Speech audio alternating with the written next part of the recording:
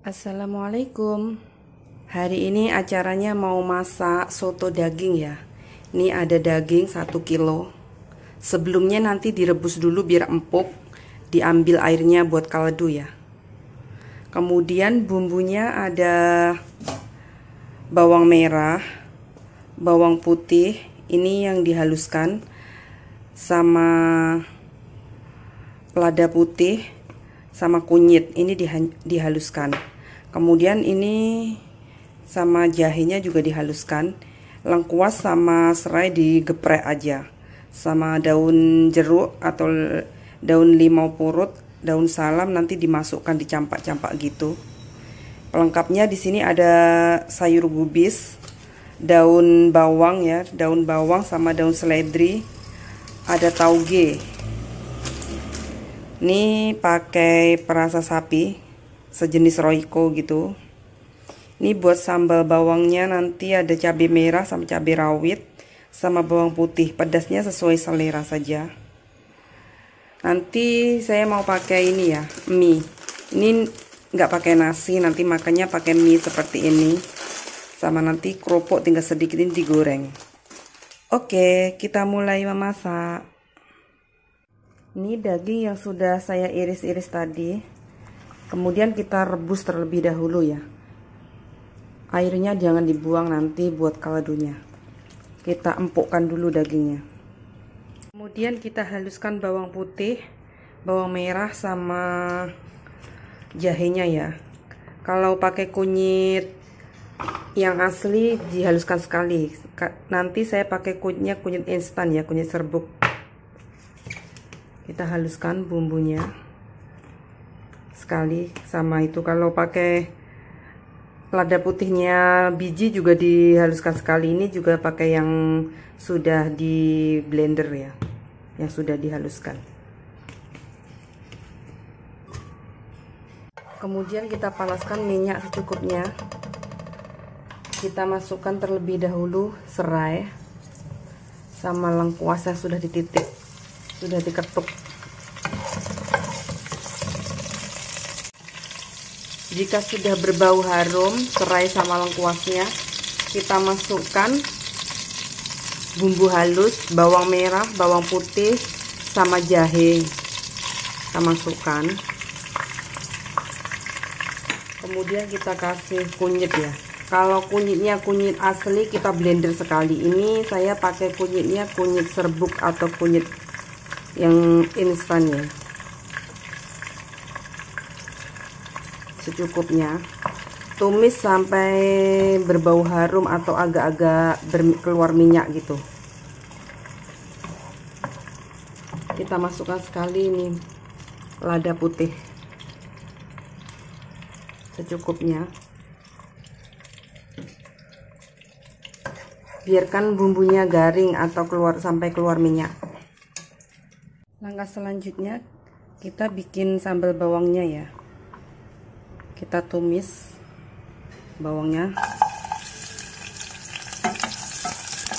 masukkan sekali cabai merah sama cabai rawit dipotong-potong biar tidak meletup-letup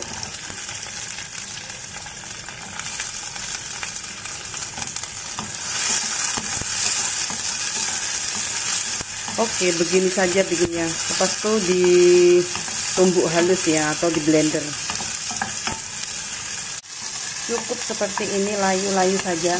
Kemudian kita matikan api dan kita haluskan ya. Ini cabai sama bawang yang sudah di blender. Kemudian kita tinggal kasih kecap manis.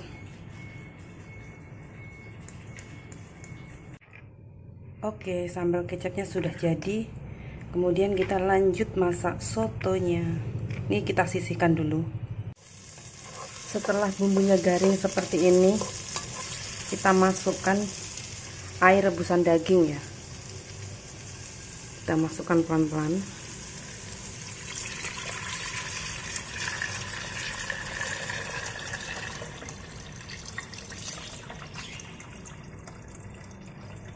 Ini jangan dimasukkan ini. Oke, seperti ini. Kemudian kita masukkan ini daun jeruk purut sama daun salam.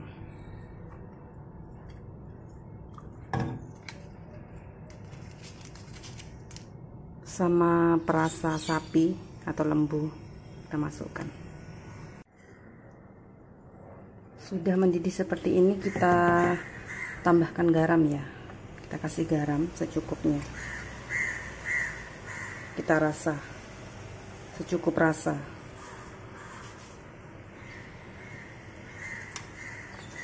baunya sedap. Kemudian kita masukkan ini tomat hijau. Tomat hijau biar segar.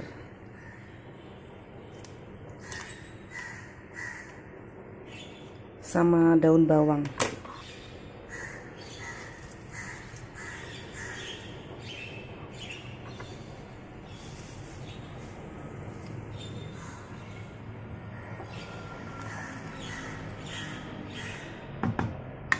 kemudian kita masukkan dagingnya yang sudah direbus ya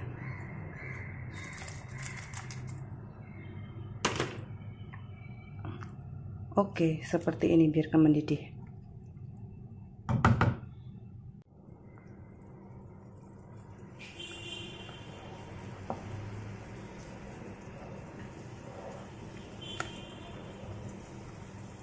Sudah mendidih seperti ini, kita matikan ya tinggal menikmati Oke, ini sudah siap. Di sini ada gobis sama daun seledri sama daun apa daun bawang ya yang sudah saya campur. Ini tauge-nya sebenarnya pakai tauge yang kecil itu tapi tidak ada. Saya pakai tauge ini yang sudah saya rendam air panas. Ini minyak sudah dicelup air mendidih. Ada bawang goreng, ini ada jeruk ada limau sambal. Ada sambalnya sudah siap kerupuknya sudah siap. Ini sotonya sudah siap tinggal dinikmati.